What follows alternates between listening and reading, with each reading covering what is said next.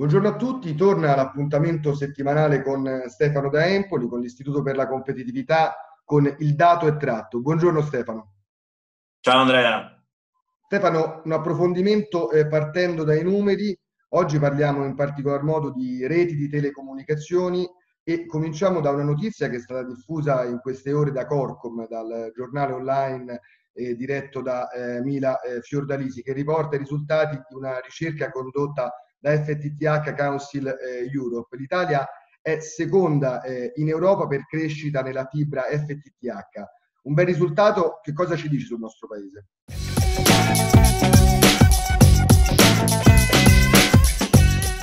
Eh, ci dice che nonostante tutte le difficoltà eh, testimoniate insomma, dalla difficoltà di posare la fibra eh, anche prima diciamo, dell'emergenza attuale, eh, piuttosto che insomma, eh, talvolta dissidi tra, tra gli operatori, ehm, si sta andando avanti e quindi questo è positivo perché comunque l'Italia è, è, è in termini di crescita insomma, il secondo paese con circa 1,9 milioni ehm, di abitazioni cablate eh, rispetto ai 3,5 eh, della Francia e sopra diciamo, quella, i numeri della Spagna.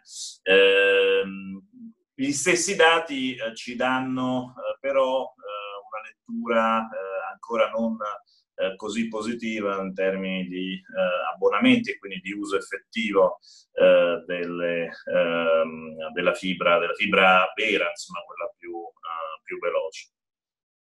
Stefano, continuiamo a parlare di eh, reti TLC e parliamo eh, in particolar modo degli ultimi dati Agicom eh, aggiornati allo scorso dicembre, dicembre 2019. Agicom stima il 55,4% eh, degli italiani con accessi alla rete con velocità superiore ai 30 megabit per secondo.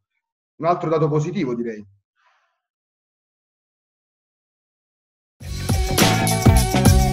Direi eh, assolutamente di sì. Eh, per la prima volta eh, nel Agicom accerta eh, che oltre la metà degli accessi avviene eh, con, in banda ultralarga, quindi insomma, con velocità superiore ai 30 megabit per secondo, insomma, che in qualche modo è, il, è la soglia, eh, la, la, la, prima soglia insomma, significativa insomma, per distinguere eh, connessioni veloci, eh, quindi nonostante diciamo, la, la, fibra, insomma, quella eh, appunto più pregiata, insomma, con connessioni eh, ultra veloci non sia ancora così diffusa, però quantomeno possiamo dire che ehm, gli italiani eh, per la maggior parte eh, possono diciamo, contare quantomeno insomma, su, sulla banda ultralarga, il che non ci deve naturalmente eh, distogliere eh, dal fatto che c'è ancora un 20% di connessione che avviene eh, con banda inferiore eh, rispetto ai 10 eh, megabit per secondo e quindi insomma, c'è ancora naturalmente un tema di digital divide